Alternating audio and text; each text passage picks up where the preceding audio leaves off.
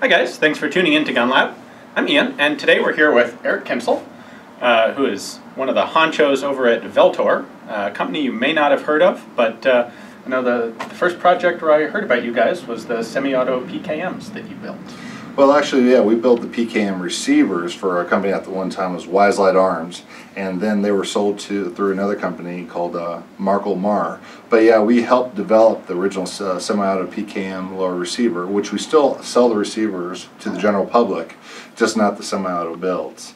Okay. Um, and uh, of course, there's still a lot of enthusiasm. Over the last few years, we probably sold uh, a thousand plus receivers, which is hard to imagine. Yeah, that's more than I would have expected. Exactly. Oh, cool. Well, you're here, um, the, the company, Vltor, is part of um, Abrams. Yes, it is. Abrams Airborne's been around since 1965, mostly as an aerospace uh, manufacturer uh, for the aerospace industry. Um, of course, they wanted to diversify about eight years back or so because of the um, the Nasdaq or the dot-com bubble collapse. They had to lay off a lot of people here, and so they didn't want to rely on technology or the um, aerospace industry for their uh, bread and butter, you could say. So they wanted to get into uh, firearms. Uh, of course, they, uh, the Abrams family support the Second Amendment very well, and because of that, they wanted to get into the firearms industry. And instead of starting up their own company, they just decided to buy existing company. And they bought my company eight years ago from uh, North Idaho. So. Okay. So you have quite an extensive machine shop or set of machine shops here that we're going to be able to take a look at maybe Yeah. See some gun related stuff. Definitely, yeah. You'll see. Uh, this is a 160,000 square foot building, and of course we have everything. It's a one-stop shop under one uh, roof. We have Cool. uh, CNC machines, uh, lathes. We have uh, uh, plating, painting, um, you know, sheet metal, uh, press brakes, uh, punch presses. So we pretty much try to cover all bases under one roof. So when a customer comes to us, we can deliver them a finished product without going or uh, outsourcing for other uh, processes. Ah, makes a lot of sense. All right, well, let's go take a look in the shop. Okay. All right, come on, guys. All right, so you just brought out one of these kind of interesting uh, new handguards you guys are doing. What are these? Well, we a few years back we developed the VIS system. The VIS is a polylithic, uh, or similar to a monolithic upper receiver, where the handguard and upper receiver are one solid piece of material. We actually do a polylithic uh, process where it's actually two pieces of material welded together, and then of course we uh, machine the surfaces where the rail is continuous on the top after the welding process. And so what we're doing here, this is actually a, uh, our new system here that we have, we're introducing in uh, 2013. This is the KeyMod VIS. It's the same as this VIS minus the rails and more mounting platform. So what you're doing is you're eliminating the excess weight that's not needed, getting rid of the cheese grater on the hands right, all the way around, plus adding a lot more mountable surfaces for future components. Okay, yeah, you just get to pick where you actually want something and put it there and not have all the other junk that then you have to go and buy covers. for, Exactly. Which always struck me as a little counterproductive. Exactly. So we're excited about this. Yeah. And I think so is the industry right now. Uh, without mentioning any names, there's actually um, 12 companies are going to be offering handguard systems as well as uh, related accessories for the KeyMod system. These are major companies' names. We'll, have- you'll definitely see them at the SHOT Show. All right, cool.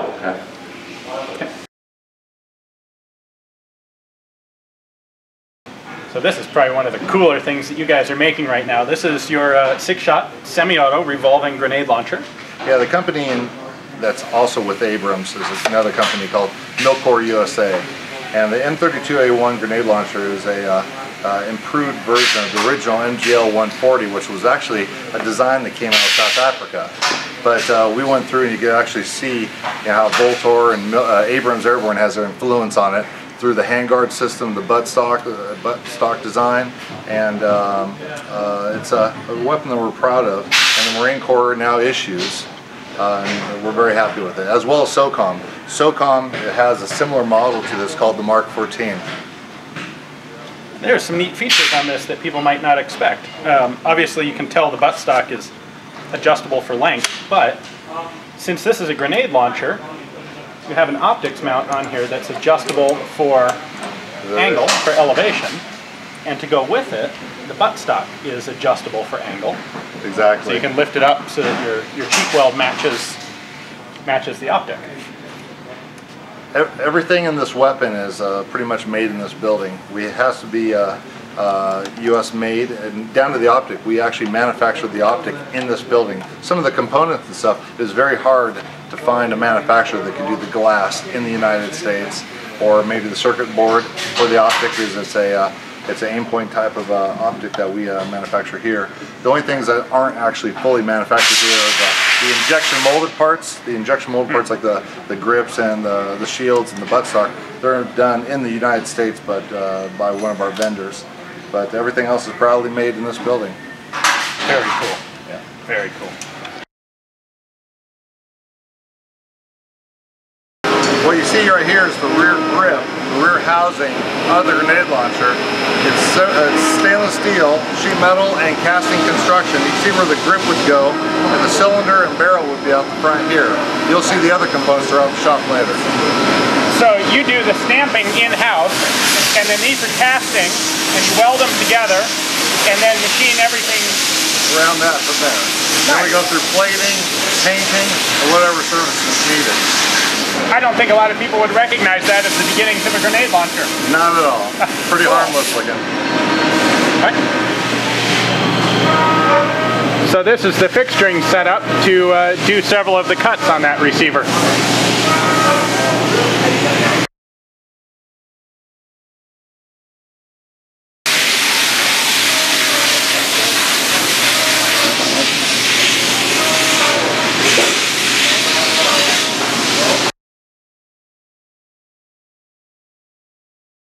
All right, so here's one of the cylinders. This is part, this is partway finished.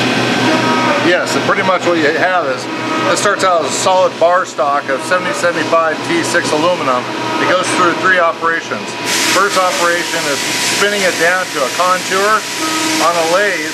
Second off is the bore, do the bores that you see here on this side.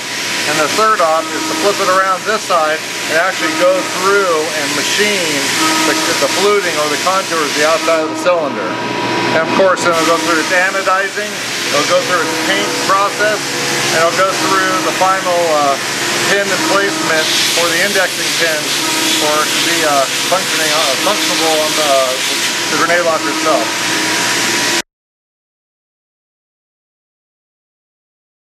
So as we'd mentioned, uh, one of the, the first, actually the first product of yours that really brought Vltor to my attention, maybe I wasn't paying attention, was the, uh, the Semi PKM. And uh, we have a couple bits from that project here. Exactly. The PKM receiver is a, it's kind of a personal uh, love of mine. I wanted to get the gun because I just love that gun so much. And I wanted to bring it into the semi-auto world so we could all enjoy it. And so what we did is we actually uh, uh, reverse engineered a PKM receiver, made our own receiver, and this is what you see here. This is an incomplete uh, PKM receiver, sheet metal uh, construction, uh, punch pressed, formed, uh, sections welded in, but this is all made in-house. And what you have here is uh, this is the finished receiver with all the riveted on components, including like you see the feed arm, uh, the belly bracket for the ammo can, the trunnion is uh, is all totally riveted in front and rear trunnion, ejector, and the ejection port cover door. So it's pretty much complete, uh, minus uh, uh, the paint and the the finish and everything else.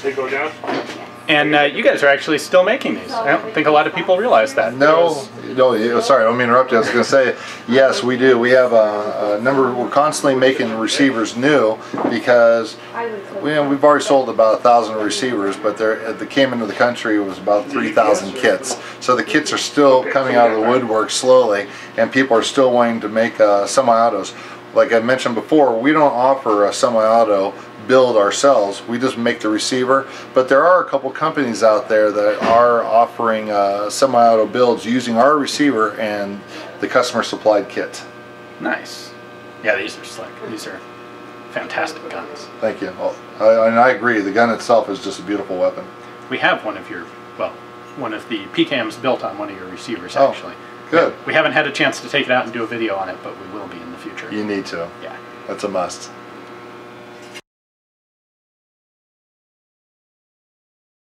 So one of the other things you might not realize is Vltor is actually making AUG receivers for the new AUGs. Yeah, we're making the, the AUG or AUG receivers for Steyr Arms in the U.S. Um, because of course the weapon has to be manufactured in the USA for it to be uh, um, allowed in a um, in the configuration like what they're going with is the AUG A3 which is the latest configuration. But what we use is a forging 7075 T6 forging. The forging is uh, just like an M16 receiver. Great grain structure and everything else. Compared to the original AUG receiver made in Austria which is actually a casting. So this is actually a 7075 T6 forging.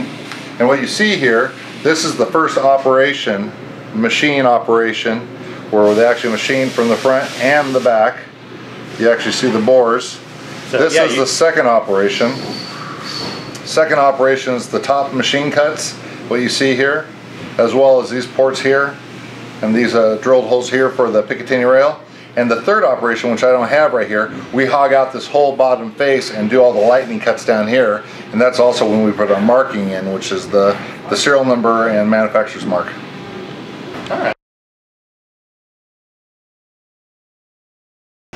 This is our laser department. Uh, in the, our laser department, we have two CO2 lasers, two YAG lasers. The CO2 lasers, they almost function like a printer almost. They actually have a little drive head and a table back and forth, kind of like a uh, printer on a computer. So you have an arm that travels back and forth X and Y, and then this just goes down the part like a printer on a, for printing paper, and it prints up uh, visible logos, but without penetration. The CO2 is great for just changing the, the anodizing. We're pretty much burning through the anodizing and going to the, the aluminum. And these are, for example, this is just a setup piece that we use, and it shows when we're doing the, the Steyr uh, arms, uh, AUG receiver, this is what we use for setup occasionally.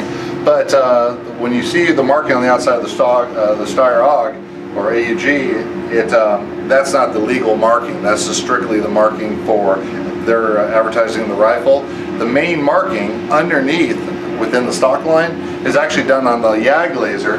The YAG laser does uh, deeper penetration. We actually penetrate about 7 thousandths in depth. The ATF law is 5 thousandths in penetration. We do about 7 thousandths, and that's why you'll see underneath the, the receiver after it's pulled out of the stock, you'll actually see Vltor weapon systems, um, and we actually do the marking. So the receiver is actually made by Vltor, but that's a whole other story. But so we use these two lasers for quality and deep penetration uh, markings for um, the firearm receivers, uh, but we use the CO2 lasers behind you just for marking our basic parts, flashlight mounts, our charging handles, um, a receiver, just to show what the product is. More cosmetic. Cosmetic versus legality, Okay. okay?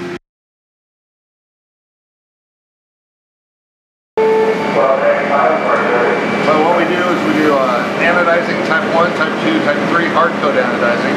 We do alodining, zinc, silver, zinc, black. We also do phosphates, black oxiding for stainless steel. We have in the past done chrome and uh, other uh, maybe even precious metal platings, but those are, are most of our standard platings are the anodizing, or the alodining, and the phosphate. So you do all your own finishing in-house as well? Everything. Nice. Everything.